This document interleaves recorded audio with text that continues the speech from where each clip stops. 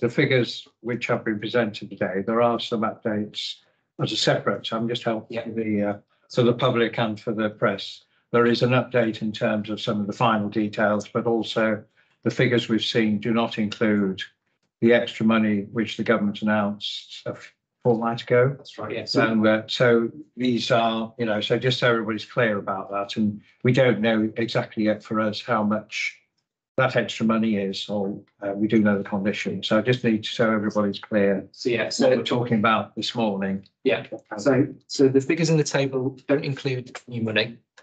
Um, we think it's in the region of about eight million pounds, one-off, so not, not recurring into 25, 26. And there are two specific recommendations in the paper that would, you know, delegate to you, leader, um, to make effect of those final changes to those figures to the budget proposal that goes to council on the twenty-third of February. Uh, So that's part, that's part of the Thank you. Yeah, so I mean, it will give all, all council, it's not just us, a chance to just look in detail at the final outcome and then uh, obviously we'll have a debate and hopefully get some recommendations, delegated recommendations uh, before the, probably the week before the uh, full council the fortnight. So it's good news to get the eight million, but it's uh, shame we didn't know about it earlier because it would have been a lot smoother. Okay, so Michelle, you're going to run, sorry? No, I think you, no, You just wipe my script out with words, but anyway, um, so the report that's in the pack reflects the discussions at the 9th of January executive, which So predominantly, whi- Which report are you referring to? so it's the. This the, the latest paper we just got? Just so, No, the, the initial published report yes, updated the information from the 9th of January predominantly to, to include a proposal around the four point nine nine percent council tax. So, so table A, that's at paragraph one three three of the original report, just demonstrates the movement to um, increasing the council tax to four point nine nine from the two point nine nine that we had in the original report. And that effectively left us with a small um, surplus. But if we move on from the original report that's published in the papers to the update paper, um, paragraph one point three has got an update of that table, um, which includes the movement to the four point nine nine percent council tax, but also includes the council tax base information from the districts and the business rates information from the districts that we were waiting for. And that shifted us now to a small deficit position of just over half a million. So that information from the council tax and the business rates has shifted that position from a small surplus from the increase in the council tax to a, a, a small deficit. Um, and that's predominantly to do with, uh, we have some estimates in there about council tax growth. Um, that and some didn't, so it was a bit less than what we'd estimated in our original proposals.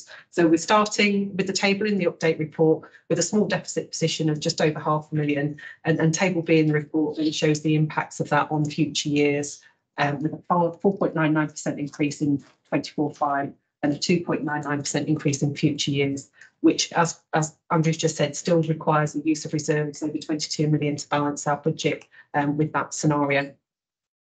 So as Andrew's mentioned, local government settlement was announced yesterday and be, will be debated in the Commons tomorrow. And that will include the funding that's announced by government, but clearly not in our papers at the moment, whilst we're just still working through the detail of that. Um, we're looking to compare that. So the update paper does have a figure of around eight point seven in the um, paragraph one point four. We think it's probably just over eight million based on what we've seen yesterday. But clearly the, the final papers into council will need to include those and proposals about how that gets used. Um, key thing in the report is Appendix E, and, and also Appendix E was updated as part of the update paper, which is the consultation feedback from scrutiny committees, stakeholders, and public consultation. Um, the scrutiny committees and stakeholders were generally supportive of the proposals and recognised the need to increase council tax to maintain the delivery of services. Um, the public consultation this year, an anonymous survey was used by Let's Talk Lincolnshire, which has increased uh, enormously the amount of interaction that we've had with the public around the budget proposals. Um, with just over half the responses preferring a 2.99% increase and just under half preferring a higher increase, with 19% supporting the maximum increase to support services. The paper also includes a refreshed financial strategy and capital strategy, but with no changes in the principles that have previously been adopted by the council in these documents. So I'm quite happy now to, to take any questions or any comments. thank you, Michelle. Thank you very much. So Yes, interesting problem to have. It's, it's not great here because obviously we're, we're just getting information in very late, and obviously papers, involved, but uh, obviously we can, be- we can discuss. I suppose in terms of the paper that was circulated well, this morning, basically in terms of uh, the changes, so that's the update paper of yours. I'm just, um, seems pretty clear, but just clarify some things in there in terms of um, the council, the figures that came back from the district councils. So just to explain on table C, that's the council tax base, that's the variation from our prediction, is that correct? Yeah. Yeah. So you, you sort of, you, your, your team and the district team sort of have a best guess. So the, the variation is how it, and that's turned out slightly more positive, hasn't it? Is that right? I, I think it's a bit less, so Oh, it's a we, bit we, less. we assume a growth based on historic data. So, um, not best guess, but historic, they're historically supported data. This is the Um, council, the, the tax base by district. Yeah, As the number of properties, which is that, Yeah. isn't it? Yeah, that's right. So right. that's slightly down. Yeah, so I guess prior to, to, to, well, prior to the pandemic, um, the, the tax base was running at about one-ish percent increase per year. Um, so we've had a couple of years where it's been around one and a half percent, so we've adjusted the, the medium-term plan accordingly, but it's coming about one point two, is it? Yeah, uh, this time around. And I, I guess the reason for that could be a number of ways. Obviously, there's, um, uh, you take around that, you know, property growth slowing. Um, not as many new homes being built, uh, potential issues around collection with a potential recession on the horizon, etc. Those sort of things will all factor into the district's um, maths as they've come together with those tax bases at this. at this- So to be clear, we're not, there has been growth, but Yeah, not, not as, just that, because it's very confusing. yeah, And I, I won't accuse you Yeah. of certain members of the deliberately confusing Yeah. it, but Yeah. so it, there has been growth in the number of properties which are taxable, but not as high as predicted. gone up one point two percent. We thought it would go up. But so it's, uh, in terms of the budget predictions, Yeah. a slide down, but overall it's up. Then the next one was the collection fund, and this is, I'm quite surprised at some of the figures here, though, just to explain, and that is, it's quite confusing because where it says plus stroke deficit minus by district, so in the chart there, table B, if it's got brackets, is that good or bad? that's the deficit position. That, So, bad. Uh, yes, they, they've collected less money than they can So if it's a positive figure, like let's take the City of Lincoln, they, ha- they've done better than expected. So, so their deficit, deficit's reduced, which is a positive move, but. Yeah, but they, they, yeah, in, ter- yeah, in terms of, yeah, not great. So, but that has some quite large variation. I mean, obviously Boston, you know, are we talking to these people? Because frankly, you know, this isn't good enough. So, so the government put out an instruction after COVID that any deficits that were incurred during that COVID period, we could spread over three years. So some of this is still kind of legacy of that, spreading the deficits over three years. But Um, some districts seem to be making good progress. And, you know, compare Boston, for example, which seems to have gone 136,000 in the wrong direction to East Lindsey, which has gone in the right direction. So what are East Lindsey doing, which Boston are? Because it's no good Boston, for example, moaning that they haven't got money when they're not, uh, it seems to be very good at uh, getting the money in they should be getting. So all of the districts will have to estimate their collection rate at the beginning of the year anyway. So how much of their hundred percent council tax base they expect to collect. And most of them estimate around ninety odd percent, which I think is So do we know, I mean, have we got figures, percentage, percentage rate which each district gathers? We'll, we'll have that background information, yeah. You could, I think that'll be useful. I mean, the other one that noticed, uh, notable is South Kesteven, which bizarre has gone from a seventy-one thousand surplus to a two hundred thousand deficit. So I don't know, are we, uh, are we, thought- are we asking the district councils why, why the, why these variations? Well, we don't usually get this information until the, the end of January. Yeah. Um, we get, we get, we- obviously, we're in dialogue with the councils all, all year, and if they've got specific concerns, um, they'd usually let us know. We also get consulted on a council tax support fund, so people aren't paying council So tax. if the average, everybody did the average, because some, some seem to have done very well.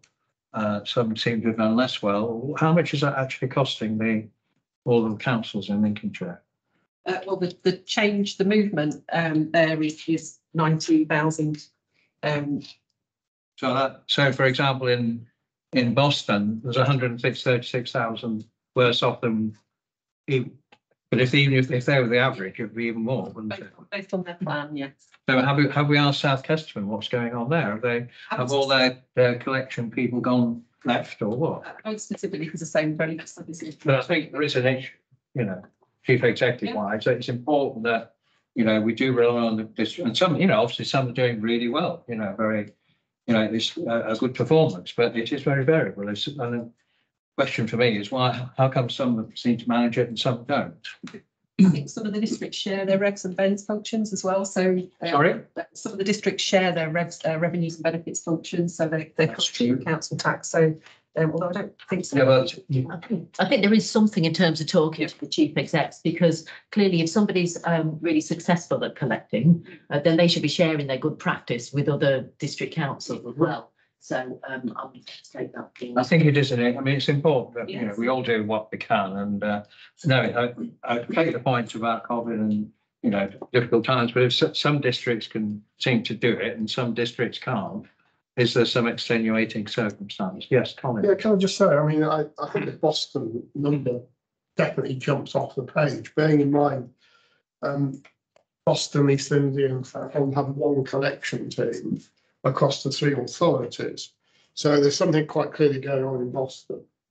Yeah, Uh, And and that number, that variation at two hundred and eighty-nine, three seven three, represents a considerable number of properties. Yeah. Um, so what is the local issue that's going on there? Why, why, the- why people aren't paying?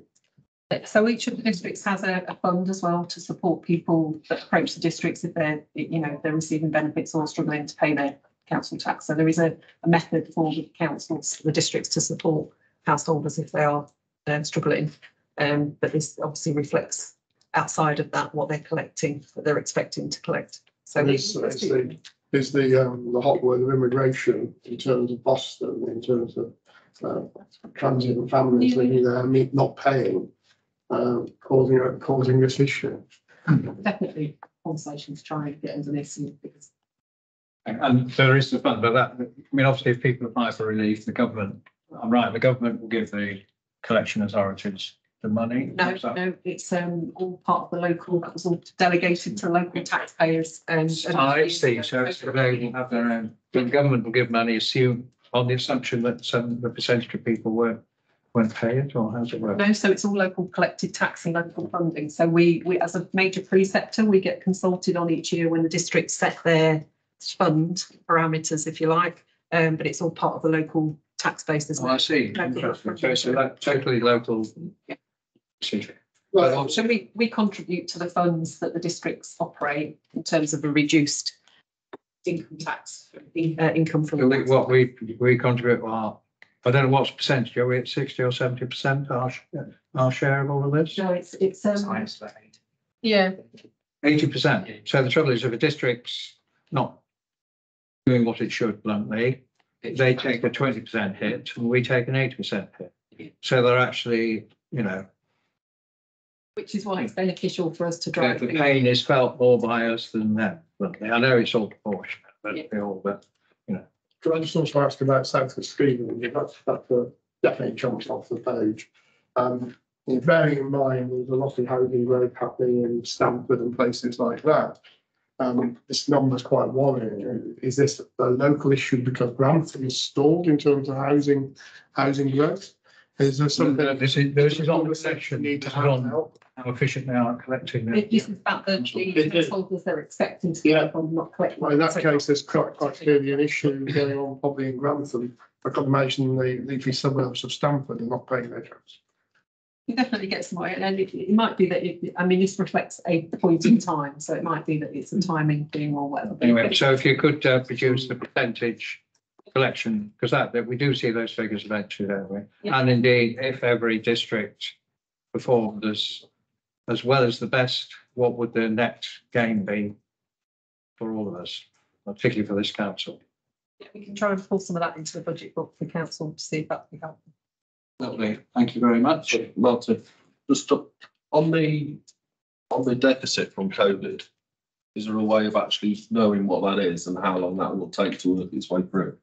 Um, we can get that information because I say we, we have to reflect it in our accounts the same way the districts had to. So, um, it was just an instruction from government at that accounting period that we needed to reflect that deficit over a three-year period. So we can, we can definitely get that information. Thank you. Does somebody just want to about the consultation results this time? You? Uh, so I, I mentioned in my discussion about the hundred and, uh, one thousand one hundred surveys, I think that we got through Talk Lincolnshire. Um, there was predominantly, um, fifty-four percent, I think, supportive of nine percent increase with nineteen percent supporting the, um, four point nine nine percent increase. Uh, there were some general comments in the consultation, um, which were themed in the, uh, report. So uh, just got some themes here. Introduction. Uh, general themes around comments were about um, cutting staff costs, councillor costs, contracted service provision overcharging, uh, making proper road repairs to avoid refixing. So um, I think I think they're quite general comments. Um, the scrutiny consultation were, was all very supportive. of The increase and recognised the need to continue to support services and the stakeholder meeting, which we held in here, um, which had union represented uh, representation and business representation, also supportive of the changes that we were proposing. So I think um, the appendix E's got some of the stats. If that helps. Anyone's got any questions on those. I think um, the they've changed the way we access the surveys this year. So um, previously we've had some people have had to register to acknowledge comments. Um, this year it was all done as an anonymous submission, um, and it's increased the feedback massively from what I can. So that, that was good. Yeah, absolutely, yeah. People weren't, if it's going to be hard work. Yeah, a lot more feedback this year than we've had in, in previous years. Councillor Smith, do you want to just summarise? I know it's a moving feast, so. Yes, there's- there's- As it was before December. Well, as, as it, from, from, as you will only, I won't go into detail, but I mean, that, I, it's certainly something I raised, I think the biggest concern that we as a committee probably have, and I'm sure the chairman would agree if he was here, is uh, the, the concern that we would have to move to a, a lower base of how much we can spend on our, our services due to financial settlement, because obviously as, as, um, as I raised at the meeting with, with the chief exec around certain statutory obligations we've got, uh, that impacts on things that actually our residents really want us to do. So things like they want us, as, we said in that budget consultation, they want us to go out once and fix the pothole. Uh, now, you and I both know, Leader, that sometimes that's not a viable thing to do. Uh, and the reasons why into that, but I, think that was our biggest concern uh, without, without quoting the report sort of verbatim to you, because you'd have had a chance to read it. Um, is that's one of the biggest concerns, as, as is, uh, educational transport, because that's been, uh, shall I say, a, a concern for a while, but that the chief executive and I are going to have a, a meeting to, to discuss that, see what, uh, lobbying could possibly, uh, be done uh, on that because it's it's just not practical to have legislation that's nearly hundred years old and says that's your statutory obligation, go away and do it, and we're not given the funding and the, the funding package to to deal with that, and uh, I can't see that being any any easier, unfortunately. So it's it's very much a case of lobby as hard as we can, as as already we have been doing uh, with the the eight million that, that's been mentioned. Uh, but it's very much concerning for the next couple of years, and it's sort of keep an eye on it. As you say, it's very much a moving feast, and I suspect it will continue to be uh, with the uh, likely election this year at uh, Westminster level. So it's very much a case of watch this space and do what we we can do to to sort of fight for our corner, as it were. Other comments, questions, please? Do you just want to run, can we talk about the theory of the, just talk about this potential extra eight million, there are some conditions with it, so just do you want to run through those, uh, start? Uh, so um, the additional funding is um, for social care, so children's and adults, um, and we are being asked to report back quite regularly now to government on our total spend, particularly on adults, to ensure that um, what we are collecting in adult social care precept and the use of the social care grants is effectively going into that area of service. So those are the conditions um, that they're not. And they don't want to go into reserves. No. Understand, they don't want to, what they regard as frittering on, on nonsense. Yes, Yeah. And their words, not, well, no, that's what the minister said. Yeah, yeah. So there was. And, uh, Well, the- Yeah, so Mike, uh, Michael Gove also announced fortnight yeah, like, you know, fortnight ago and, and a bit more information yesterday around the expectation that all councils will have to submit a, a productivity into government by July. Um, so, and that covers, uh, the sort of things that you'd expect it would cover, um, around, um, you know, the ability to deliver savings, uh, the amount, the extent that you've transformed your services, etc., as well as uh, demonstrating that you're not wasting money. We, we talked about frittering, uh, not frittering money on, on certain things, and obviously the, the government committed to providing more guidance on that in time. I think one of the interesting things that was in the letter that came out from the Secretary of State yesterday was that future funding might be contingent on the ability to demonstrate progress against that. Uh, how that happened, I don't know, in due course, but we'll see in due course as there's more guidance comes out, and I suspect um, sectoral bodies will be working quite hard to, to um, provide some guidance on what the expected standard of those documents would look like. So we sort of all in commission by stealth, really, Uh, uh, which is the concern, I think, that, you know, we are going back to the days of, uh, having auditors more, well, we have auditors now, but it's fairly light touch. I think. I think the comment was to establish a new productivity review panel made up of sector experts, including the Office for Local Government and the LGA. Yeah, right. And they, they are also asking um, for our plans to include barriers preventing activity um, to support efficiency that the government can help with to reduce or remove those barriers. Interesting. Barriers to what prevents efficiency. Yes. That the government can help to. Are we to report this to the government? Start with that. I mean, I think the sentiment's right, but I think there's a risk that, you know, we've got extra highways money and now we've got to tell them how many miles of uh, road we are research. I mean, it's all, it is all getting a bit OTT, to be honest. But having said that, you know, the sector, have been certain councils which have not done our reputation the whole of the reference any good at all, but some of the trouble something got into, but yeah, okay. Well, I'm sure we will, uh, we will respond appropriately. It, it does say these plans need to be agreed by council leaders and be published on our website and to, to cover transformation of services, better use of resources, opportunities to take advantage of technology, ways to reduce wasteful spend and support leading to Well, remove. We have, we have a, we have a regular savings, we agree with that, and also we have a substantial sub transformation plan, so this should be fairly straightforward.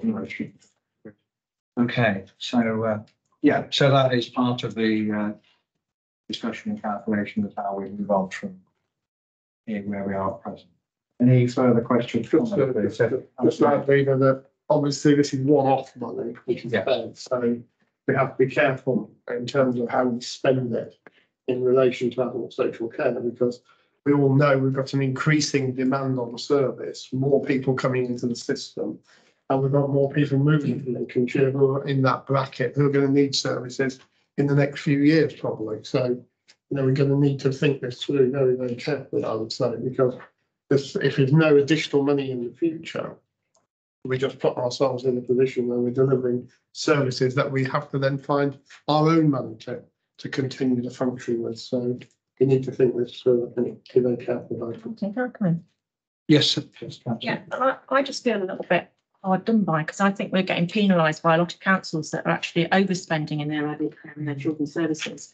You know, we, we're running a balanced budget, of adult care and children's services, trying to give value for money and, and an excellent service, I feel, with, with, as Colin just said, the amount of older people that's moved here, um, and without, you know, children's services, uh, with, with the, um, uh, foreign residents that you've got with the children there that we're taking on.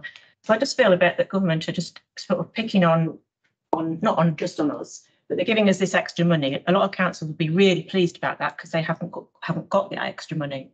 Whereas, you know, adult care and children's services and all our services in the council, we have run a balanced budget and we, we run an excellent budget, I feel. And I just think we're getting a little bit penalised by government because other councils aren't doing their job as they should. Yeah, but I think we, I mean, obviously, it's, it, I think we all should be grateful for getting there. Oh, no, no, no, sorry, no, I'm, I'm grateful. but, And, you know, and, and it's- particularly the town council network. uh, Provided a very effective campaign, which actually was listened to by government. Uh, As you're right, there are, you know, I mean, I actually signed the letter on with other leaders, uh, pointing out challenges, because we have challenges So we do. here, which we know we, we, in terms of, uh, SEND homeschool trial and things like that. We know we are holding the line just, but it's only just. So I did think it was, and the government, of course, put on the um, national living wage, but then didn't fund it, which is a bit questionable in terms of, you know, extra burdens. They're supposed to fund extra burdens. They didn't in this case. So in a sense, we lost, I can't remember how much we lost from, well, that cost us six million. So in fact, you could argue the eight million sort of covers the extra cost for us for the national living wage. So I think you're right, though, that in some councils I know, majority are, well, I think we're in a minority who are actually living within our budget just. So I suppose the question is in terms of what we've just heard, in terms of social care, what one, is there, I mean, I suppose we need to look at, is there some one-off investment we could make in social care? Which would, bearing in mind Colin Davie's point about it is one-off money. One hopes the government next year, which will be different, government then, will actually acknowledge, you know, there's an issue here, but I suppose the issue for us is what could you spend one-off, which would give you a permanent and long-lasting benefit? We've got the transformation plan, haven't we? Indeed, is there something else we could do in the transformation plan which would give us a long-standing benefit? But I just put that to you. Any thoughts on the hoof, really? I mean, we have a, a range of programs that are in place um, which cover prevention, and so it's it's relatively straightforward to scale those for things that we can do for a year and then and then pull back if necessary. And that is all designed so that it should have an impact on reducing future demand. So we're not we're not baking in. And the, the challenge with things like national living wage is you say the the funding for for next year broadly balances that because the national living wage is forever, and when they make an increase you know, in future years, it will be on top of that. So we have to be very careful with fee rates because those you know, we can't get back. But there are there are things that we have in mind uh, and, and can can do on a, a preventative basis that can be scaled up and then scaled back if if necessary. I'm sure on the children's side.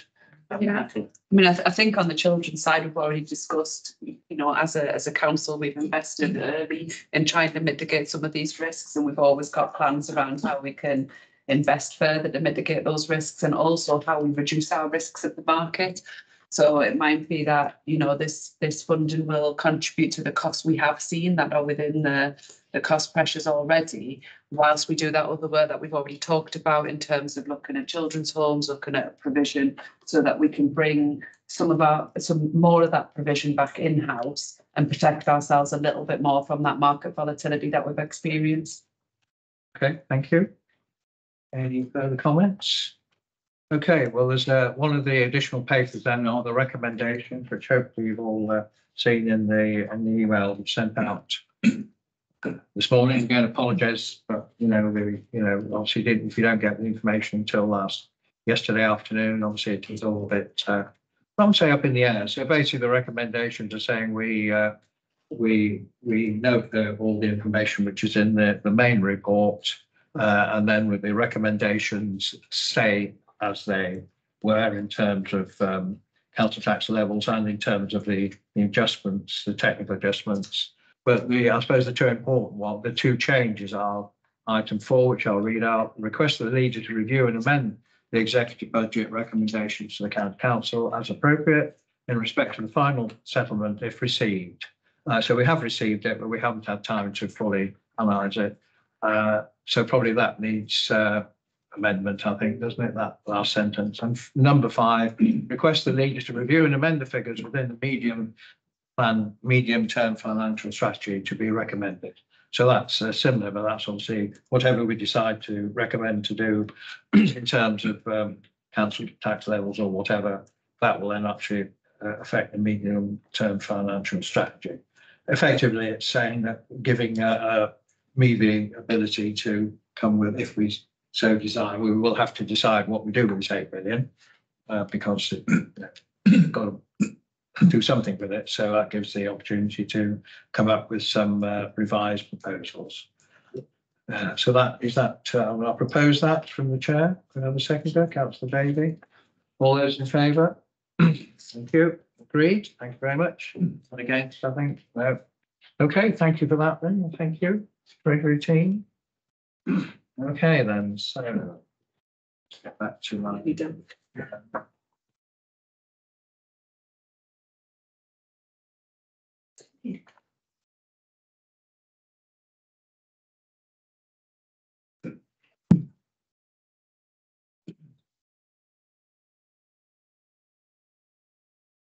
So the next item then is North Hykeham Relief Road, Land Assembly Preparation of Highway Matters.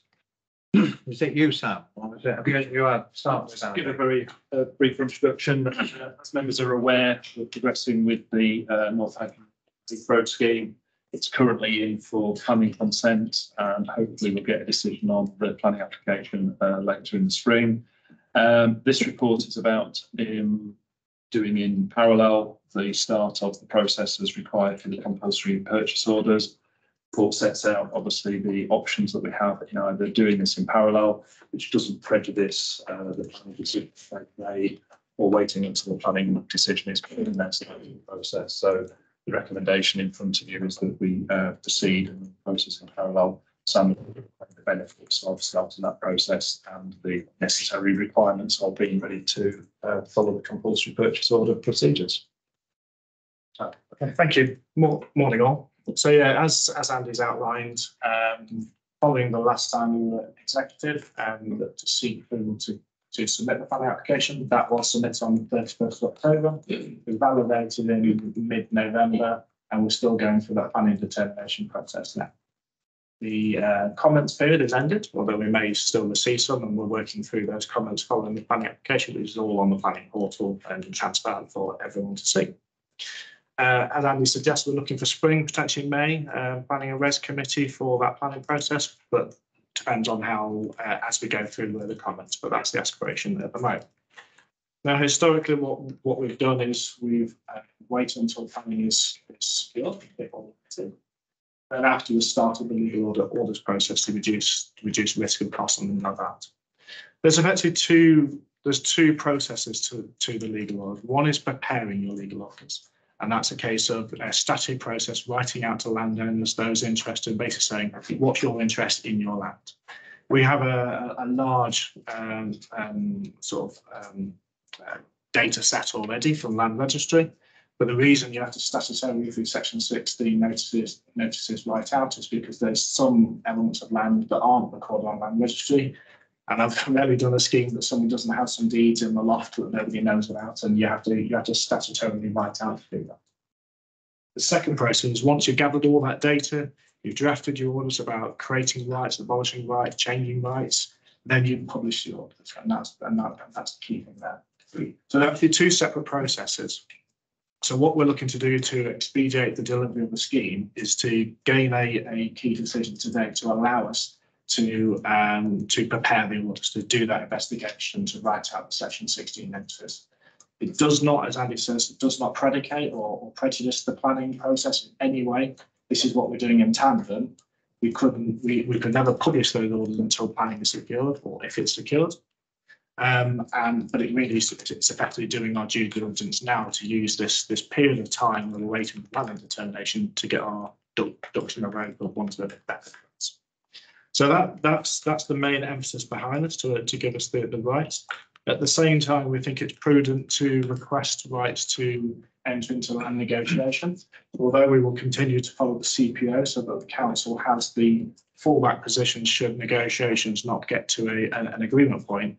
But we are seeking the, the authority to carry out those negotiations as, as, as we are informally now as being, been uh, liaising with landowners and stakeholders for quite some time. The final part of this is the where we tie into Pennells roundabout at the western location, that is National Highways Network. So much as if a developer was come onto the county council's highway network, they would need a what called a section two seven eight agreement to come onto our network. We need the same one to go onto the National Highways network called section six agreement. So effectively, that's not our land, it's probably not National Highway, Is their highway, is their highway rights. So we have to set section six agreements with the, with National Highways in order to go on there and start those discussions. Uh, it basically runs tandem with the rest of it. Uh, the section six agreement is something we've done many times before. We've been like Grantham Southern Relief Road, Teal Park, many years ago. And it's a fairly standard documentation, but it is a legal doc- doc- doc- documentation. So I guess that, that probably summarises the report. Um, but again, I will stress, just to be absolutely clear, this does not um, impact the planning process. It's a completely separate objective process should planning not be approved or, or it be delayed anyway, then we can still collate this, uh, this, this preparation, but we can't publish it later. And we will come with a future key decision report to this executive to publish those orders, probably summer or, or autumn this year. Thank you, Sam. Councillor Brooks, obviously went to your scrutiny committee. Yes, thank you, uh, thank you, Leader. Um, uh, yes, this came to the Scrutiny Highways and Transport Scrutiny Committee on the 29th of January, and the report was considered and it was unanimously agreed uh, by the committee to support the recommendation to the executive. Um, there's some points that were raised and highlighted in discussion.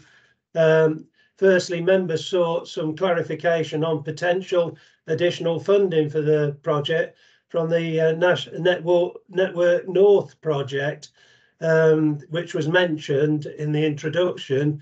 And o- officers conveyed that detailed information from the government was still pending. So uh, there was a specific inquiry into how much we might expect from that. And it was uh, again clarified that communication from the government on the matter was yet to be received. There's also concerns were raised regarding the compulsory land purchase process. And it prompted questions on how property prices are determined. Uh, officers explained that negotiations were the primary avenue, but where necessary, compulsory purchase orders were being employed. They emphasised that the residential properties were the main focus and valuations adhered to the no scheme world uh, principle. Uh, thirdly, members sought some information on the parallel process with the planning applications uh, and the public awareness, uh, because uh, you know it would seem that we could be putting the cart before the horse by going through this process before uh, planning's uh, consented. And officers assured the committee that major landowners were actively engaged and extensive public consultation had already taken place. Uh, they underscored the um, um, so sorry, I just yeah they underscored. Uh, sorry, I've I've I've gone on about. They were asking how the pro property prices are. Officer explained that negotiations were the primary avenue, uh, but where necessary, we uh, adhere to the no scheme world principle. Uh, members also sought information on the parallel process of the planning application, as I said, uh, because there was concern that it would look like we were putting the cart before the horse. Um, they um, assured us that the planning process is distinct from the compulsory land acquisition and that the report at, at hand primarily addresses preparatory matters. Importantly, officers stressed the decision to proceed with the compulsory purchase orders would only be made post the granting of planning consent. Uh, lastly, in uh, reference to collaboration with National Highways, uh, a member inquired about the potential challenges in engagement. Officers responded, highlighting that the Section 6 agreement was standard and our relationship with National Highways remained overall positive. Additionally, the officers provided information regarding a commuted sum which uh, likely payable as part of the agreement for future maintenance uh, of the asset created by this project. Again, in summary, the Highways and Transport Committee has unanimously supported the recommendation presented to the executive. Apologies for the little mix up in the middle there, uh, leader. Thank you very much, Mike. No, that was fine. It was very clear, very substantial. uh, Do we just want to deal with the- each of those uh, issues that were raised in turn? So the first one was about Network North. To explain that is the uh, the HS2 money. So can I, just in terms of we, do we bid for our, because do you explain the process and whether the realistic, realistic prospect of this particular project getting, currently we've been given 100 110 million allocated by government, but just can one of you explain what, Yeah, what's wrong? So at the outline business case process, so back in twenty twenty, I think, twenty-one, when we started the process, when we got basically the allocation of the hundred and ten million, as you said. The scheme estimate at that time for the outline business case was hundred and fifty-four million. So there was seventy percent from the DFT and thirty percent from the county council. Um, during that early stages, we procured Balfour Beatty, obviously the, the world did something very, very different and construction inflation increased significantly. We saw a twenty-three to twenty-four percent increase, which took us to the current one, one hundred and ninety-three million pound uh, cost that we're quoting at the moment. Now, the Network North policy paper that came out, uh, as you say, is this sort of HS2 funding that goes to the Midlands and the North. There's a very clear statement that those are the large local majors, the LLM schemes, of which the North Hykeham Relief Road is, is set to receive additional funding up to hundred percent of the outline business case. So that's the hundred and fifty-four million. So if we were to receive the hundred percent of the outline business case, that would increase the funding from the DFT from hundred and ten to hundred and fifty-four million. Obviously, the authority would still need to fund the gap of thirty-nine million to the hundred and ninety-three. So that's what's been put in, put in paper towards the end, I guess it was about April last year. What we haven't seen since then is any, any meat to that, any, any detail within that.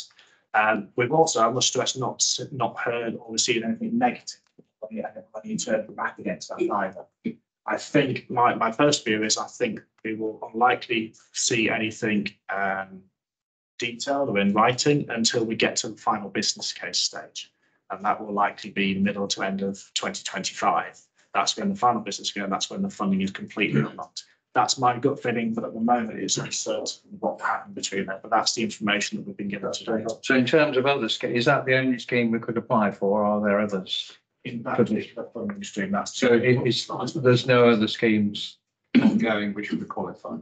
Not for that particular. Not for that particular, because it's an ongoing, allegedly, new government, obviously, There there. funding streams, there's uh, LITs being talked about, local infrastructure, transport, um, about funding bids into that, but there's discussion that might be formulaic basis rather than bid basis.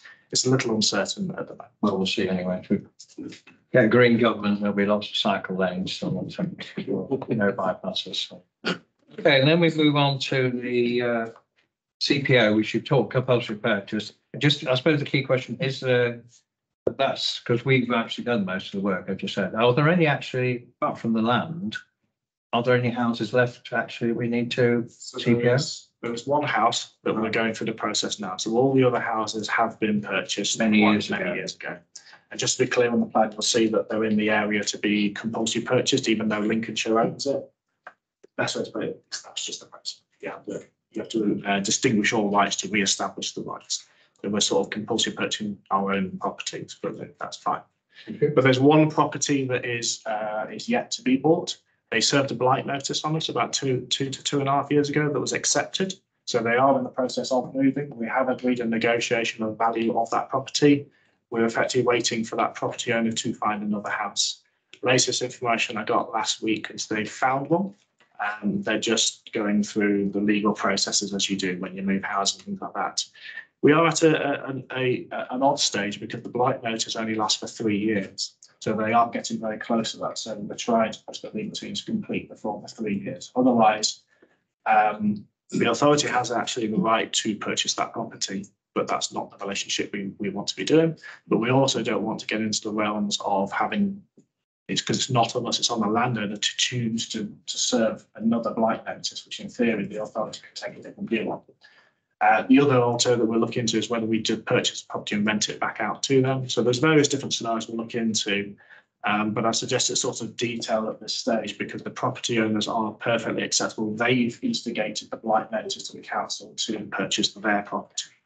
So also for twenty years now, we've been, ever since the line was protected. So is, is this just one who, person who didn't really want to engage or? So back when we purchased all the other properties, they had eligibility to issue a blight notice, but chose not to.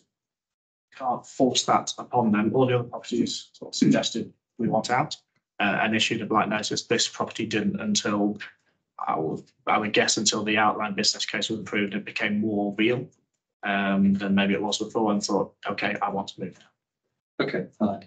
Um, so that seems to be in hand then. So you're confident that will uh, go through because some of them we have bought the house and rented, let them stay, haven't we? Residents to, so they don't have to move until till Yeah. the bulldozers appear. notice period of their tenancy, but they're all very aware and we, we're not going.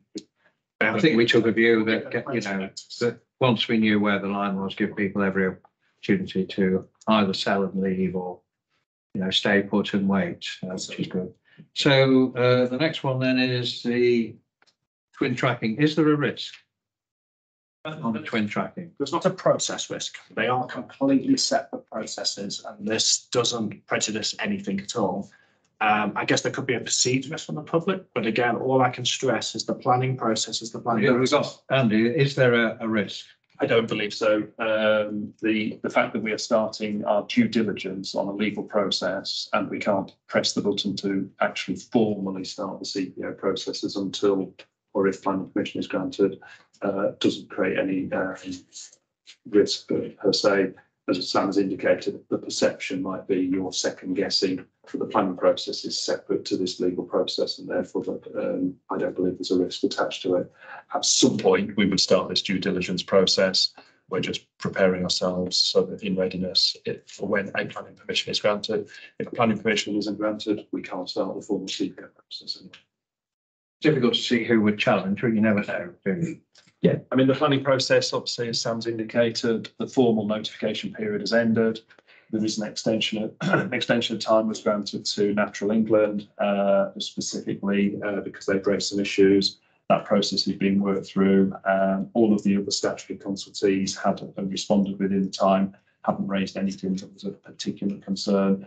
Uh, as you're aware, in the context of how the planning process works, you need to make sure that the, the due process is followed there, so we don't create a risk of any further challenge to that. Uh, the number of formal comments made by members of the public was very few in comparison to a scheme of this sort of size and nature that you might have expected.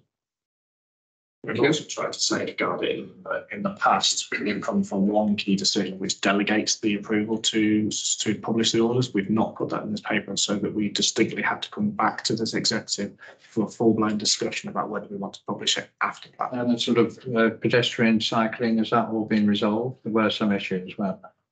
Uh, In terms of challenges, potential. Well, there, there, there- well, I suppose there, there was a few comments throughout the three public engagement events over the eighteen months, and we've enacted tho- all those changes and all those views into the planning So we- application. We've sat, we've satisfied there, but so. Yeah.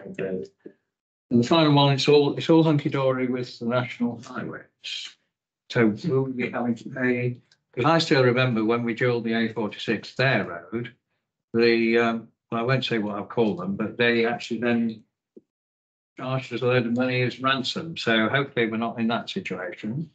Because if we have the nonsense of the local taxpayer giving money to the national tax. So is it just going to be a cost-free transaction this? So to say the policies haven't changed in the period, and I was on site at Teal Park for two years, and I remember it very well. Well, I thought that was, and I forget, it was ridiculous, outrageous, actually. So we won't know the values, but effectively when, because you are building a larger asset that they take on, they charge in the commuted lump sum additional costs over forty years to maintain that asset over that period. I won't give any personal views into that, but it is effectively charging a local authority to maintain that public highway. But that is the process, it's a legal process and they have, they have a right to it. I was certainly having a discussion with National Highways about whether that's appropriate and whether that, that's right, but we can't, if they instigate it, there's very little. It's about the roundabout. Are we talking just to the roundabout? Yes, Because the rest of it isn't theirs. yeah, absolutely, we are talking just the roundabout. So what sort of sums are we talking about? No, National Highways don't engage a uh, project sponsor until you secure planning. So they won't, they don't get into the detailed So conversation. wait till you've got permission, then they come with a big fat check. bill. I mean, it's not, it's not a sensible way of going on, frankly. We get it, you know, you, with all, all these claim goers, they all charge us, don't? And it's all effectively taxpayers' money. But, so we don't know that is, but so it's all going smoothly as long as we pay up. Is that what you say? To an element, I Yeah. I think in English, that's exactly what I'm saying. There we go. I mean, surely we've already paid so much, so if- if they did go on that line, it would only be an additional. We've only widening that roundabout. Is, it's a bit more than one, it is, it is massive, this roundabout, it's, it's more than twice the size of the existing roundabout, with four lane entries and things like this, this is a significant size increase. with traffic signals on where there aren't now there now, so they'll be greater to maintain on that. So I can understand the level of greater maintenance. You could argue that there are issues with that roundabout now and offset against which we will have those discussions with them. Yeah, because we're effectively giving them a brand new roundabout again, aren't we? Exactly, and that will form part of my discussions with them about uh, better. Well, let's say they want to do something on one of their roads, which affects our roads, can we then charge them? Yes. Or do we? Has it come up? Very rarely affect No. our roads, but it would be the same as if a developer or, you know, the internal drainage board, the EA council net, we can charge them. If they are changing or creating an additional asset for us to manage, we have a process of, of, uh, calculating and charging them to meet two lump sums. Very good. Any further questions, comments then? A good scheme, but uh, that's all going to plan then. So there are quite a few recommendations there. Page one hundred and eighty-three, which I won't read them all, but basically are the process whereby we, the next stage happens with the twin tracking, as has been said, and also delegate uh, to the director of place in consultation with the portfolio holder uh, for two items at the end. So all those in favour of the recommendation, please show. Thank you. All agree, thank you. That's unanimous. Is the vote. Move on to the next one, which is submission of business cases for capital funding under the Greater Lincolnshire Devolution Game. So before I hand over, basically this is um this is the money we have um, been given by government for entering the process in terms of uh, a greater uh, a devolution deal for this area. So some people think it's uh, dependent upon uh, us actually agreeing the devolution deal. No, this is actually just a a reward, I suppose you call it, and what you call it. So we have been, uh, Great Lincolnshire has been given twenty-eight million, um, of twenty million of which uh, has been agreed will be spent in the Lincolnshire area. So Justin's shaping up that. So I presume you're going to add anything else? Thank you, councillor Hill. So, so yes, this, this paper takes you through the projects that we've proposed submitting bids in twenty million. Um, and it asks that the executive approves those twenty million pounds of projects and approves a process in which you, councillor Hill, um, in conversation with Andy as the director for place, um, agree to the detailed business plans that we submit into government. So there are six projects, and I am aware that there is a typing error in the paper at one point says five. So to be clear, there are six projects and six is affordable. Um, and those projects are listed on page two hundred and four of the report. Now, it's important to recognise that the criteria that the government gave us for this funding was very, very strict and rigid. It had to be capital, it had to be spent in financial year 24, 25, and it had to be spent on activity within the Department of Levelling Up's spend um, rules. And that meant that what we did was a, a piece of work which was to look at the prospectus for devolution, which set out what our priorities were for the first wave of devolution. An exercise where we looked at the um, different projects that were eligible for the prospectus and were able to be delivered within the time frame because of the feasibility and etc. work that we had already done and an exercise that ensured that there was a reasonable coverage across the county, which with 20 million pounds doesn't enable us to put everything everywhere. So that gave us the, the list of projects which are identified on page 204. So a Food Valley grant programme to improve productivity within the food sector, flood prevention schemes, a streetworks programme in Grantham, improvements to the transport corridor in the Lincoln area, including Nettleham Roundabout, and some improvements to Carholme Road. Um, a re- resurfacing and making old Roman bank in Sandilands far more attractive to visitors, and a grant towards the next stage of Sleaford Moor Enterprise Park. So those are the projects that we are proposing that we submit. It's worth reflecting on two more things. First of all, programme management and risk. So Lindsay's with me today. Lindsay will be programme managing the bundle of projects and set out on page two R five are a series of risks and how we propose to mitigate them through using framework suppliers, through taking people off other tasks, and through monitoring the projects very, very closely against their performance indicators.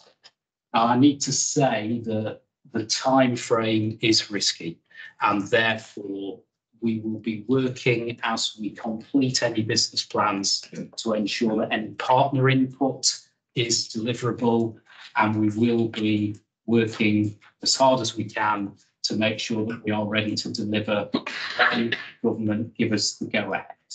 We had meetings with government yesterday. Um, we are a little bit concerned it might take more than six weeks in which to turn around the business cases, which of course will have an impact on us when we're trying to do something about that. Very final thing I'd mention, Councillor Hill, as you said at the start, this is um, a set of projects for now based upon what is deliverable now. At the same time, we are working with um, members of the executive and with managers across the council to identify a pipeline of strategic projects that will support economic growth across Greater Lincolnshire in the coming years. So Sam Edwards, who, who spoke on the previous paper, has been working with Councillor Davis on a number of transport schemes. Um, my team are working with Councillor Davie on a number of business development schemes. And Nicole Hilton's team will be working with Councillor Davie on a number of environmental schemes. So we will be looking at the strategic approach as well as that operational one. And I think I'll pause there, Councillor Hill. Thank you. Well, Lindsay looks quite calm at the moment, anyway. Very Positive, very positive. So it went to overview and scrutiny, councillor Smith, so uh, obviously, you were there again, leader, and uh, questions were raised about why certain schemes weren't included, which, uh, as has has been explained, I think as, as the uh, committee said, overall, uh, no one's going to say no to uh, funding an imro- improved road. So very, very happy that, uh, that they're there and that those improvements are being made. And hopefully it's the, the start of a, a longer journey where, uh, shall I say, more uh, open conversations had with uh, up the chain of command, as it were, and um, we we can use the uh, possible new potential new status of uh, being a devolved authority for the benefit of uh, the residents of Lincolnshire. You've had a copy of the, so I won't uh, quote it verbatimly because you've all had a copy of it. thank you. So, um, obviously, your first, you did mention that uh, a misunderstanding, shall we say, that certainly Boston is mentioned that they got nothing. Can you just explain what the Food Valley is and why Boston will be, a, the Boston area will be a major beneficiary of this money? So our UK Food Valley Grant Programme is going to be all about helping business productivity in the food manufacturing sector. And in terms of Boston, we know that something like six times the national average of people are employed in food manufacturing. And we know that the food manufacturing sector is going through change. It needs to be better meeting the um, zero carbon targets that the major multiples are giving to the food manufacturing sector. It needs to be productive around the cost of its product by looking at making its um, its processes more efficient. And so the UK Food Valley Programme will provide grant support to those organisations who help businesses to improve their productivity. We believe that we will spend a significant proportion of the funding on the National Centre for Food Manufacture, which of course delivers a lot to businesses in both the South Holland area and the Boston area. And we have had some early conversations with the Centre for Food Logistics, which is based at Boston College, and we would expect them to play a strong role in the UK food valley. So there are a number of schemes there. It's probably worth saying as well, Councillor Hill, that when we submitted the bid for levelling up fund for the A16 improvements, and the choice was to focus that on helping food businesses in the Boston to Spalding corridor to be able to get their products to market faster. In that bid, we spoke about increasing productivity in other matters like the production process. And that's what this UK Food Valley programme is about. So to me, it'll do a lot for businesses in the food sector in the Boston area, and it will augment the investment that you've already made in that A16 corridor improvement scheme. And then the, the improvement you mentioned actually is in the Boston Borough government. And obviously the comments was that the, the bids submitted by Boston Borough Council, when we went round asking, none of those were successful. Can you explain why? So there were three submitted, two of which were not consistent with the uh, with the prospectus we put in for devolution. So one was around health and leisure, and what's a beg your pardon? One was not consistent with the prospectus. That's the one around health and leisure. One was a scheme which was for a brownfield land purchase, and we could not use the Department of Levelling Up's funding through this scheme, the brownfield land activity. And then the third scheme was to do some early work on local development orders for some new industrial estates, which would have been um, revenue-based funding, and therefore we felt that we wouldn't be able to pursue that one either. Okay, but obviously as I, as we hopefully pointed out, that if the devolution bid does go ahead, obviously that will give us more flexibility in future and we won't be tied up with all these conditions because we'll get the, the pot of money and it will be then locally determined. Um, the flood prevention schemes, and I think that was, there was some, uh, but that is new schemes, but I see from, as it says in the paper, it is preparatory work to actually uh, generate match funding from other partners. Yeah, it, it is, it is new schemes. It is, it is over and above the funding that, that you as an executive made available. I have to say, I spoke about the risks and of bringing partner organisations to the table. The Environment Agency are, as you know, exceptionally busy as a result of recent storms, and we are working hard to bring them to the table if we're not able to do so, then we may need to adapt that flood schemes project.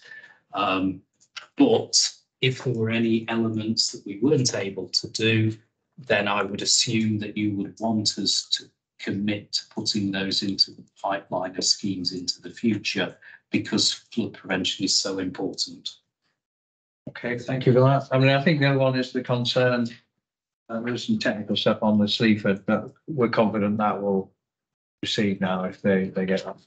So the issue is the big challenge and how long do we, because if we sit here waiting for the government to turn it round, have they given a commitment? Because obviously the longer they, less time we will get how to deliver. So I don't know. They've given us a commitment of six to eight weeks. He was in meetings with them yesterday. So we- Then we're down to a year. Which is. Yeah. Ridiculous. Yeah, so Lindsay was in a meeting yesterday, which was quite frustrating. And we have gone back to them to say, we should be working on this together. You need to accelerate some of that work. If over the next 10 days or so, we don't have a lot of progress on that, then I'll certainly be speaking to you and the chief executive about whether there's something we can do to remind them of the importance of getting these.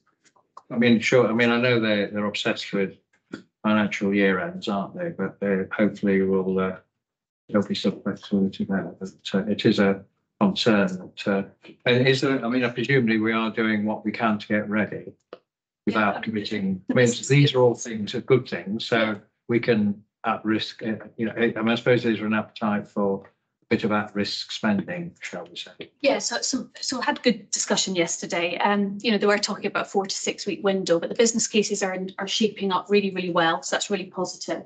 Um, I've been talking to our partners about submitting them um, on an ad hoc basis. Um, that helps them with their assessment process. A lot of the discussion was around um, the proportionality of assessment because this is slightly out of their normal assessment process. So I think what happens sometimes with the business cases is they get sent into individuals within other departments. And I just wanted to make sure that other people understood the proportionality that we discussed. Um, so we are in we are in good shape there. Um, and, and the teams are working really hard at bringing those projects forward.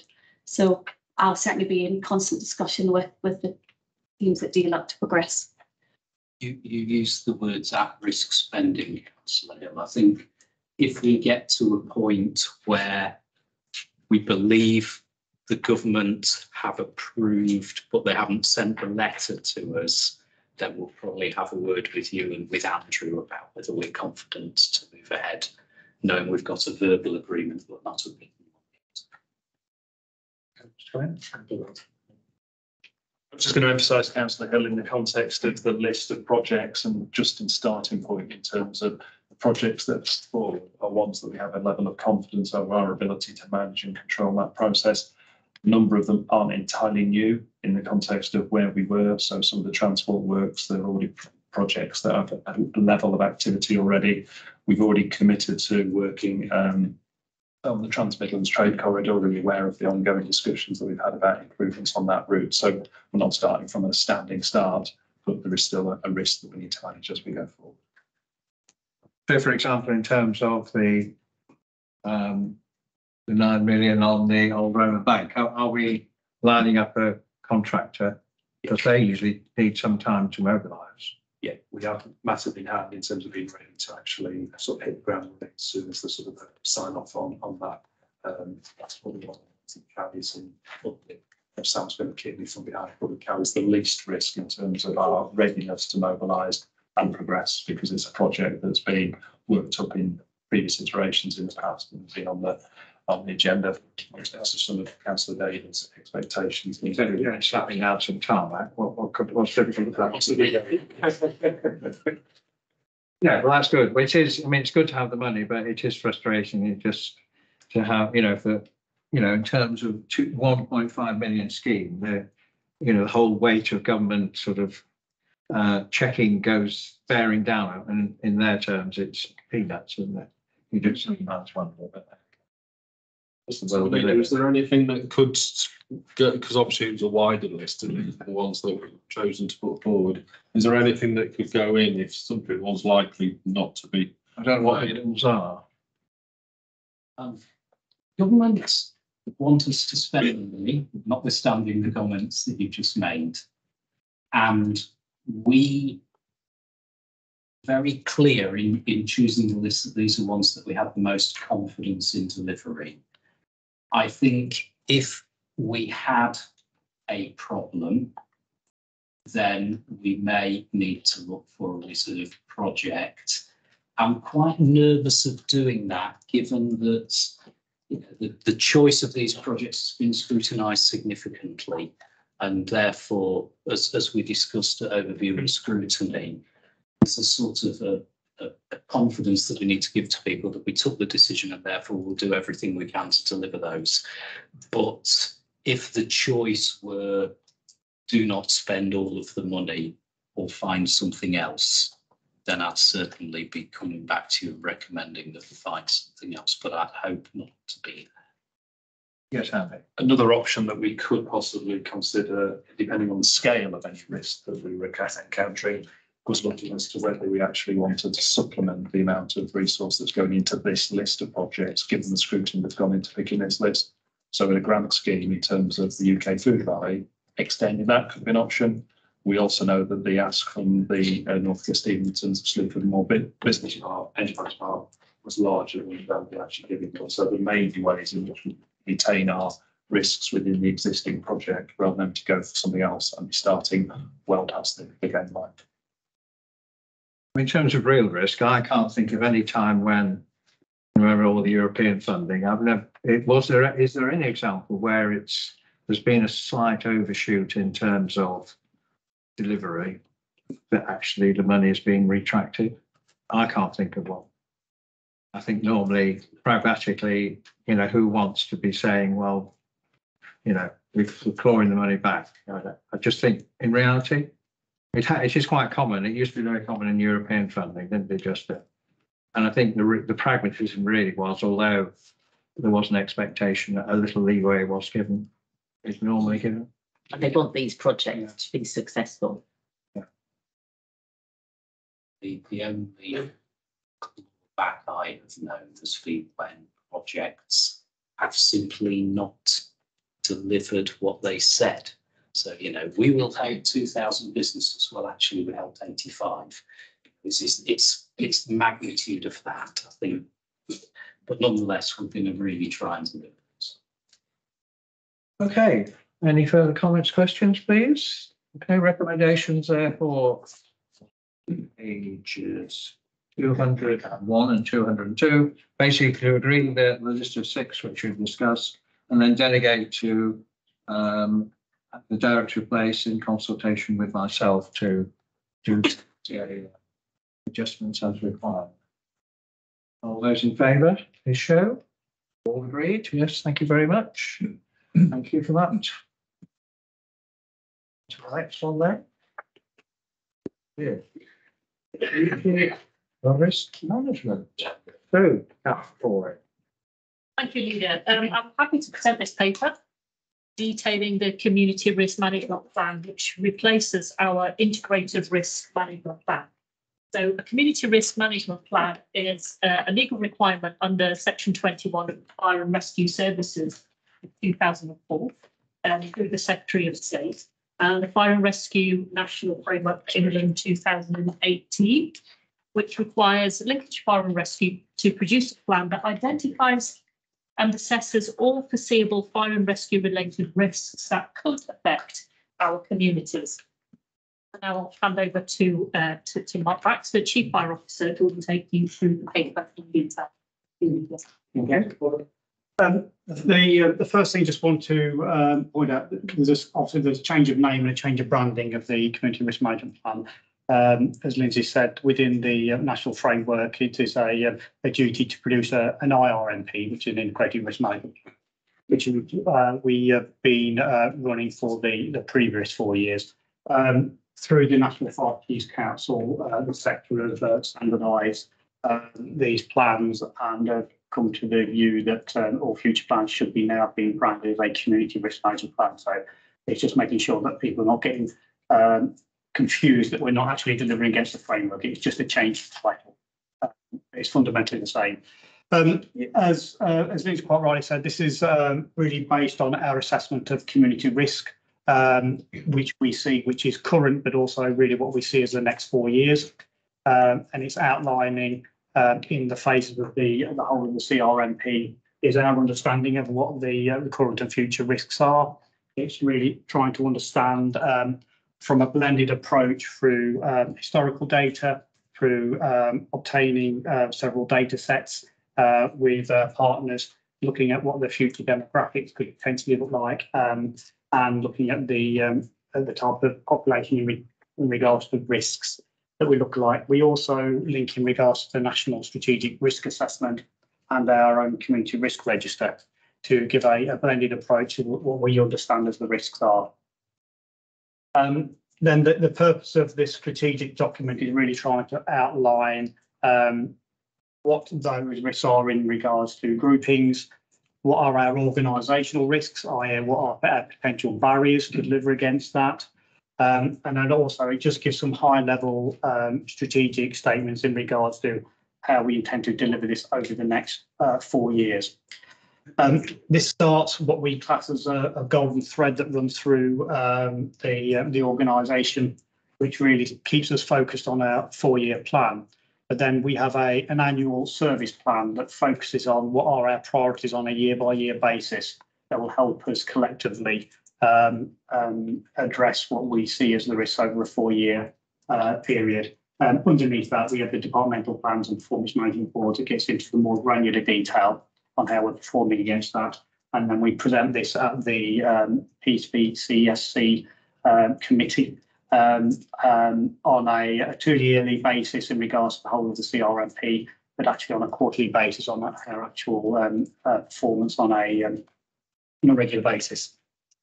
Um, how we've um, outlined this plan is slightly differently. We've looked at um, uh, that we've put them into four categories in regard to our business, and we're putting everything under either a safer communities umbrella, service delivery umbrella, value for money umbrella, or a people umbrella. Um, that will be consistent through all of our plans within um, each fire and rescue to to aid um, in what a bit of um, a focus and simplicity, so everybody understands what they're working towards.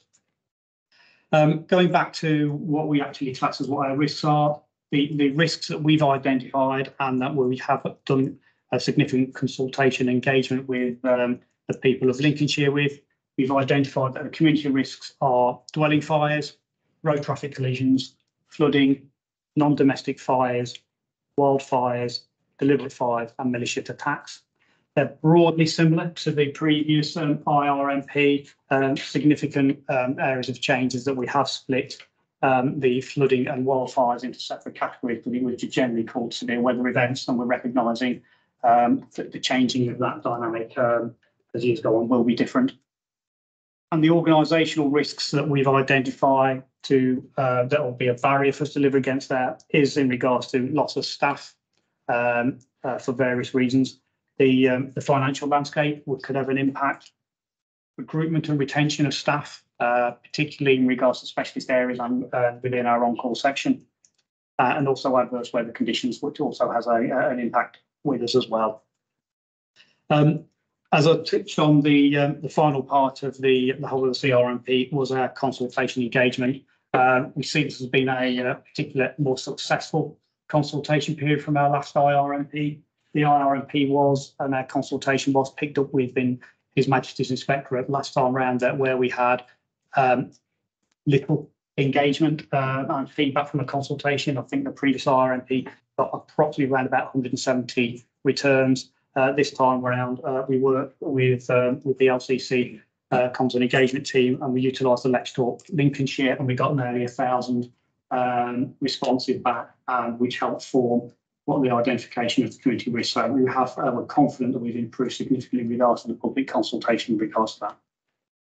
Um, I think I'll pause at that point, uh, Councillor. Uh, uh, Ryan Stacey here is also um, be ably on board to ask any more technical uh, questions. He's the author of the CRMP and did a lot of work in regard to the uh, methodology in regards to how we came through the assessment of risk as well. Very much. Councillor Pepper. So your scrutiny committee has obviously gone through this with a fine tooth comb, plus any comments? Yeah, good morning, Lydia. You could say that. Yes, we looked at this uh, on the 30th of January, a week ago today, and it did um, create a whole range of questions and a lot of interest was created. However, some was not specific to the uh, CRMP, so I'll just focus on one or two that uh, actually were. Fire and Rescue Service representatives were asked if high-rise buildings and student accommodation should be specifically mentioned in the document, more so in view of the Grenfell, Grenfell tragedy. However, we were told that these were very much business as usual activities and there was no need for specific mention. It was also noted that some fire and rescue services briefly stated their future intentions in the CRMP, um, maybe such as things in some of their documents was perhaps knocking down two fire stations and building one and things like that. But uh, we did point out that um, maybe the rebuilding of Leverton Fire Station could be briefly mentioned in there as a possible inclusion. However, again, it was uh, thought it was not necessary to mention. Um, a couple of small inaccuracies were identified in the CRMP, and I understand these have been taken on board for correcting. Um, finally, it was a unanimous decision to support the recommendation to the executive. Thank you. Thank you, Nigel. Thank you. So just, obviously Nigel mentioned several points there, the high rise and the, so you, you've looked at that. Um, and was high rise and what was the other one? The Student student, accommodation. student accommodation. So just summarise what you told committee. there. Yeah, I, I mean, Rob probably give a bit more Right. detail to it. It- Definitely business as usual in regards to, it, and it hasn't significantly changed since the last You say IRA. basically justify. Yeah, so to put it into context, Lincolnshire has nineteen buildings which we have classed as high rise. So high rise is a is a very defined point. Uh, so we have nineteen buildings in the county. So in terms of a strategic risk, it, it isn't a strategic risk. It's something we do a lot of work on as a business as usual uh, activity. So our fire protection teams will enforce the regulatory reform order in those buildings. And uh, So they, they get an annual visit at least? they will get an annual visit. So in two thousand and nineteen, it was perfectly reasonable for us to be a strategic risk. There was a, a huge amount of legislative change uh, as a result of the health tragedy. Uh, so it was a, s- a strategic risk at the time and something we need to put a lot more activity and effort into. Uh, that is now very much uh, business as usual. So a lot of those changes to legislation have come through. We understand the impact of it.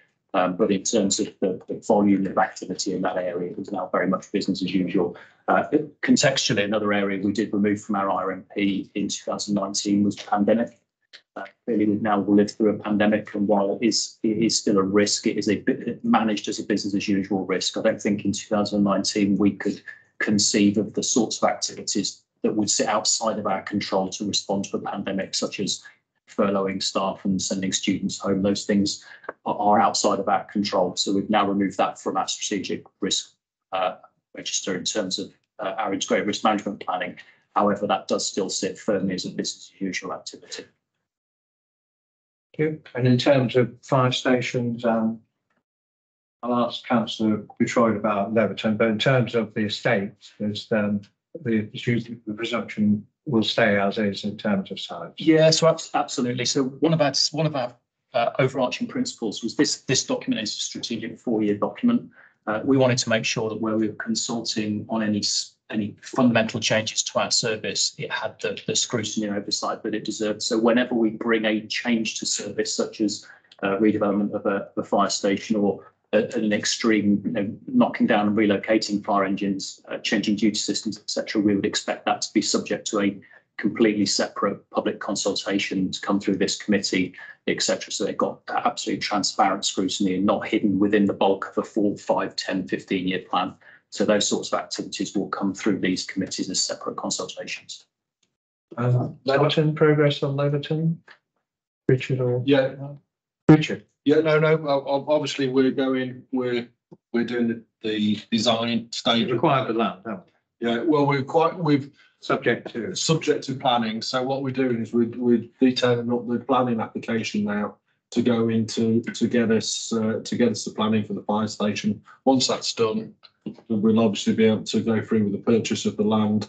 And then we'll do a, a slightly more detailed design and then go out to tender for, for the, for the works. And at that stage, we can obviously come back to council and, and look at the costs that are involved with, with the project. So that, that's where we are. We obviously got estimated costs at the moment, which we're, we're looking to. Uh, can I just ask some question on, on this as well while I've got the floor? Uh, obviously with the new Building Safety Act coming in, I, I take it that we are, the way we approach high risk properties within Lincolnshire is the same as they categorise it as well. I mean, I, I know it's an obvious question, but just with it and with it coming in and coming into force now, I just wondered that we, we were in tune with the latest legislation that was all. The short answer is yes, correct. Yeah, we, we are uh, absolutely in tune with the rest of the sector. Uh, in terms of the, the Enforcement and Building Safety Act, Health and Safety Executive, we've actually put regional resource uh, as, as part of our planning for that. So uh, we simply don't have uh, enough uh, demand for that resource within Lincolnshire specifically. So actually, we now have a resource that sits within the East Midlands region that we pay proportionally into to, to furnish that. that. Okay, further questions and councillor Baker. Um, leading after um, visiting the children's home at Gainsborough, you are certainly taking your fire risk to heart because you had made them take off all their anaglypta paper with a matter of urgency, which I was very surprised about because it's cost them lots and lots of money, and I didn't really think that was a major fire risk, but apparently it is. But there you go. But um, just reading through the report, it's really good, very good. But you don't mention hoarding, and that's a slight concern because we've just come across a very, very, very severe case of hoarding in Wainfleet. Um, which ourselves and the local fire service became aware of in October. And I just think we should just mention something and how your officers actually deal with that. They did deal with it because they, they raised it with me, but it, this case is so severe and I am absolutely horrified that I didn't know about it before. Um, so it is something that's really come to my focus of mind, but certainly with the fire going into rescue, probably not going in, like Wainfleet, for instance, flooding. You know, we've come across this because of that. Um, and yeah, just, it's not just mentioned in here. Maybe it's too I mean, the, to give you some assurance in regards to that, um, so that li- links in regards to our prevention strategy. Uh, and our prevention strategy is based on our Sherman concept, I think we mentioned before. And Sherman within HMF hoarding is one of the key priorities in regards to that. So, so um, again, I suppose really what, I'm trying to say is absolutely it's a, high priority for us. Um, it, links in regards to our service plan and departmental plans where it's um, uh, is a focus and it is, mentioned in there and we uh, measure our team in regards to delivering against their areas such as uh, absolutely hoarding um, and hoard prevention. We are um, we link in regards to many partners and we do look at partner agency or the referrals or intelligence and information to identify where some of these areas are. So where we can at that targeted approach to our teams. But um, yeah, so to give you a short, yeah, it's, it's not mentioned specifically within the CRMP, but it is actually within our annual plan and our departmental plans. So, I mean, in terms of, well, Sherman, which is basically multi, multi-agency checklist really, in effect. So in terms of, obviously, if, say the fire service come across it as a fire risk, so where does, obviously, hopefully persuasion, but obviously, in cer- obviously, it's a difficult scenario because people get themselves into that situation probably means they, you know, they, they have, you know, they, they've got themselves into a, a sort of difficult mental state. So wh- who- where does the sort of enforcement action, is it a fire enforcement issue or is it? So how, how, you know, if there is a serious fire hazard, somebody sitting there with, you know, electric bars and loads of books and papers around them, well, so I don't know where the legal situation rests. We, we don't actually have enforcement um, powers in regards to that. Um, however, we, um, we, what we can have and what we do is, and and Ryan will talk about this in more detail, is uh, we can signpost to all of our partners who can come in and, and probably have more powers than Model Fire Rescue. But I think the key is to identify what the actual risk is and then to link in with all our partner agencies for them to come in and do specialist work. But Ryan, I think you've got more detail on that. I think, well, basically, summed up, yeah, we have no legislative powers in terms of enforcing fire safety in, in the home, uh, within a domestic environment. Where we would have powers would be in, um, houses of multiple occupation where there's potential of fire risk to communal areas, so stairways, uh, landings, etc. That's where we would have a a legislative responsibility. Absolutely, we work with partners from a from a statutory perspective. Um, the reality is most of the people we come into contact just need advice and they're, they're willing and happy to get advice from the fire and rescue service. So we work with partners to ensure we can signpost them to other services uh, where that's appropriate. But in, in the end of the day, if say the individual says, well, no, my life, I'll choose how I live. Is in reality, That's has not- anybody got the powers to say? Um, it certainly isn't within our, within our remit. Yeah, that does, they're, they've got the right. it's certainly an issue, but I know normally, sometimes it's almost like people just want help really, and, you know, they respond. Yes, uh, with yes, support. yeah. But obviously, basically, again, every other agencies, district councils and others who go in and, and, you know, Absolutely. We- indeed, I presume in social care terms, you know, adult care would be involved to advise and help. That's what I was just saying to Martin about the case that I've got in Wainfleet. I mean, this case is so severe that you can't get in any rooms. Kitchen is full of rubbish, maggots, flies, cat you name it. So, you know, we are, the services are getting involved. But I agree with you, with what power you have. But then again, this seventy-six-year-old man is living in an unsafe environment that he, he can't get out if there is a fire because you have to climb out. So it is, it is it is who has control of that, isn't it? And who can determine whether it, it's it's it's about saying has he got capacity? Well, to all intents and purposes, he has. He's still driving, but he's living in a very very unsafe house. But it's very difficult. Bujoy. I think I, I have, I think I've maybe brought this question up at, but, uh, overview scrutiny, but, uh, I, I, think with regards to this document, and you, I know you're going to say it's business as usual, but with, with regards to Scampton and potential use there, I just wondered how that's addressed, uh, within, within your plans, really. So Scampton's a, um, uh, it is an interesting area for us. Um, because there's two areas where we would normally get involved in this type of area. One is in regards to ensuring uh, the uh, fire safety legislation is- is being adhered to. Um, in regards to Scampton, um, this is a Crown property, so we don't have any legislative duties in regards to that area. Um, although we are um, intrinsically linked with um, all of the working groups and we can give the advice um, and what we would expect. Uh, However, we don't have any uh, powers which we would normally do um, outside of Crown property. Um, so the other area that we um, are linked in regards to is ensuring that we've got a um, an appropriate um, response plan if there was an incident, and that's in ensuring that we have um, an understanding if there's the adequate water supplies, there's appropriate access and egress routes, we can have uh, the right amount of resources getting there, and there's understanding um, the type of risk that we will be facing with, with it being a different occupancy. Um, so we work with the local division team and they have those operational plans in place. Okay, thank you. Any further comments then, please? Okay, recommendations on page two hundred eleven, basically do asking us to approve the uh, community risk management plan up to twenty twenty-eight. And then also with that to then uh, publish. All those in favour? Again, unanimous. Thank you very much. So that is agreed. So with that, uh, I will close the meeting and thank you for your attendance. Thank you.